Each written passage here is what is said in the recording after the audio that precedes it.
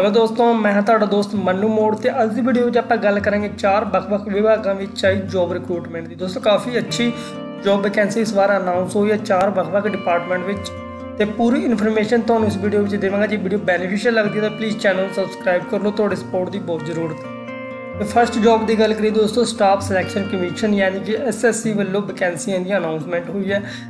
ਦੋਸਤੋ, ਇਸ ਵਿੱਚ ਜੂਨੀਅਰ ਇੰਜੀਨੀਅਰ ਦੀ ਪੋਸਟਾਂ ਨੇ ਟੋਟਲ ਨੰਬਰ ਆਫ ਜਿਹੜੀ ਪੋਸਟ ਨੇ, ਕਿੰਨੀਆਂ ਵੈਕੈਂਸੀਆਂ ਨੇ, ਇਹ ਹਾਲੇ ਇਹਨਾਂ ਨੇ ਅਨਾਉਂਸ ਨਹੀਂ ਕੀਤੀ ਹੈ।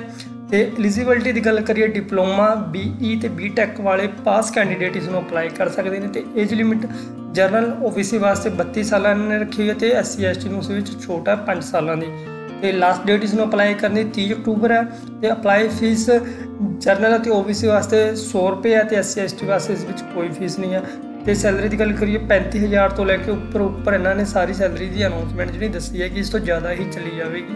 ਤੇ ਜੇ ਤੁਸੀਂ ਆਨਲਾਈਨ ਅਪਲਾਈ ਕਰਨਾ ਚਾਹੁੰਦੇ ਹੋ ਤਾਂ ਇਹਨਾਂ ਦੀ ਆਫੀਸ਼ੀਅਲ ਵੈਬਸਾਈਟ ssc.nic.in ਤੇ ਜਾ ਕੇ ਤੁਸੀਂ ਅਪਲਾਈ ਕਰ ਸਕਦੇ ਹੋ ਜਾਂ ਵੀਡੀਓ ਵਿੱਚ ਕਮੈਂਟ ਕਰ ਦਿਓ। ਮੈਂ ਤੁਹਾਡੇ ਲਈ ਇਹ ਪੋਸਟ ਤੁਹਾਨੂੰ ਭਰ ਕੇ ਦੇ ਸਕਦਾ। ਤੇ ਨੈਕਸਟ ਜੌਬ ਦੀ ਗੱਲ ਕਰੀਏ ਦੋਸਤੋ ਇੰਡੀਅਨ ਨੇਵੀ ਵਿੱਚ ਹੈ ਜੌਬ ਰਿਕਰੂਟਮੈਂਟ ਹੈ ਤੇ ਟੋਟਲ ਪੋਸਟਾਂ ਦੀ ਗੱਲ ਕਰੀਏ 34 ਪੋਸਟਾਂ ਇਸ ਵਿੱਚ ਨੇ ਤੇ ਐਲੀਜੀਬਿਲਟੀ 12ਵੀਂ ਪਾਸ ਕੈਂਡੀਡੇਟ ਇਸ ਨੂੰ ਅਪਲਾਈ ਕਰ ਸਕਦਾ ਤੇ ਲਾਸਟ ਡੇਟ ਇਸ ਨੂੰ ਅਪਲਾਈ ਕਰਨ ਦੀ 20 ਅਕਤੂਬਰ ਹੈ ਤੇ ਫੀਸ ਇਸ ਵਿੱਚ ਕੋਈ ਵੀ ਅਪਲਾਈ ਕਰਨ ਦੀ ਫੀਸ ਨਹੀਂ ਹੈ ਤੇ ਸੈਲਰੀ ਇਸ ਵਿੱਚ ਗੁੱਡ ਸ਼ੋ ਹੋ ਰਹੀ ਹੈ ਮਤਲਬ ਕਿ ਕਮ ਤੋਂ ਕਮ 25000 ਤੋਂ ਲੈ ਕੇ 45000 ਤੱਕ ਸੈਲਰੀ ਇਸ ਵਿੱਚ ਜਾਵੇਗੀ ਜ਼ਰੂਰ ਤੇ ਜੇ ਤੁਸੀਂ ਇਸ ਨੂੰ ਆਨਲਾਈਨ ਅਪਲਾਈ ਕਰਨਾ ਚਾਹੁੰਦੇ ਹੋ ਤਾਂ indiannavy.nic ਡੋਟ ਇਨ ਤੇ ਜਾ ਕੇ ਤੁਸੀਂ ਆਨਲਾਈਨ ਅਪਲਾਈ ਕਰ ਸਕਦੇ ਹੋ। ਨਹੀਂ ਤਾਂ ਵੀਡੀਓ ਵਿੱਚ ਕਮੈਂਟ ਕਰ ਦਿਓ ਅਤੇ ਆਪਣਾ WhatsApp ਨੰਬਰ ਤੇ ਆਪਣੀ ਡਿਟੇਲ ਸੈਂਡ ਕਰ ਦਿਓ। ਮੈਨੂੰ ਮੈਂ ਤੁਹਾਡੇ ਲਈ ਇਹ ਪੋਸਟ ਭਰ ਕੇ ਤੁਹਾਡਾ ਜਿਹੜਾ ਐਡਮਿਟ ਕਾਰਡ ਹੋਵੇਗਾ, ਉਹ ਤੁਹਾਨੂੰ ਮੈਂ ਸੈਂਡ ਕਰ ਦੇਵਾਂਗਾ। ਦੋਸਤੋ ਨੈਕਸਟ ਜੌਬ ਹੈ ਜਿਹੜੀ security and exchange board of India ਯਾਨੀ ਕਿ SEBI ਦੋਸਤੋ, ਹਰ ਸਾਲ ਇਹ ਕਾਫੀ ਚੰਗੀ ਅਤੇ ਕਾਫੀ ਵਧੀਆ ਸੈਲਰੀ ਵਾਲੀ ਜੌਬ ਰਿਕਰੂਟਮੈਂਟ ਅਨਾਉਂਸ ਕਰਦੇ ਨੇ।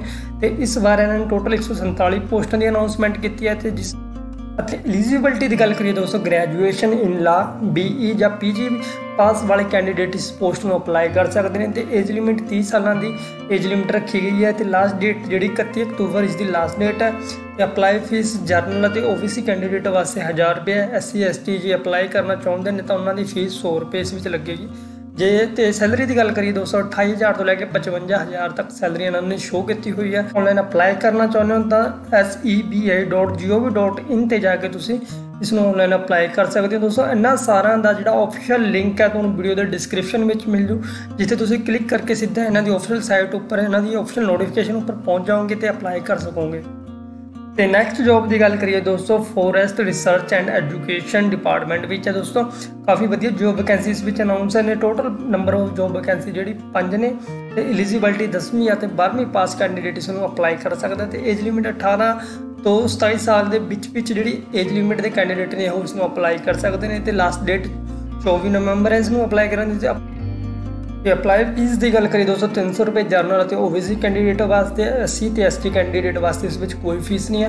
ਜੇ ਤੁਸੀਂ ਆਨਲਾਈਨ ਅਪਲਾਈ ਕਰਨਾ ਚਾਹੁੰਦੇ ਹੋ ਤਾਂ icfre.gov.in ਤੇ ਜਾ ਕੇ ਤੁਸੀਂ ਅਪਲਾਈ ਕਰ ਸਕਦੇ ਹੋ। ਤੇ ਇਹਨਾਂ ਦਾ ਸਾਰੀ ਜੋ ਜੌਬ ਨੇ, ਜੋ ਇਹਨਾਂ ਦਾ ਲਿੰਕ ਜਿਹੜਾ ਤੁਹਾਨੂੰ ਵੀਡੀਓ ਦਾ ਡਿਸਕ੍ਰਿਪਸ਼ਨ ਮਿਲ ਜੂ, ਉੱਥੇ ਜਾ ਕੇ ਤੁਸੀਂ ਕਲਿੱਕ ਕਰਕੇ ਚੈੱਕ ਕਰ ਸਕਦੇ ਹੋ। ਉਮੀਦ ਹੈ ਦੋਸਤੋ, ਤੁਹਾਨੂੰ ਵੀਡੀਓ ਬੈਨੀਫੀਸ਼ੀਅਲ ਲੱਗੀ ਹੋਵੇਗੀ। ਜੇ ਬੈਨੀਫੀਸ਼ੀਅਲ ਲੱਗੀ ਹੈ ਤਾਂ ਪਲੀਜ਼ ਚੈਨਲ ਨੂੰ ਸਬਸਕ੍ਰਾਈਬ ਕਰ ਲਓ। ਤੁਹਾਡੇ ਸਪੋਰਟ ਦੀ ਬਹੁਤ ਜ਼ਰੂਰਤ ਹੈ।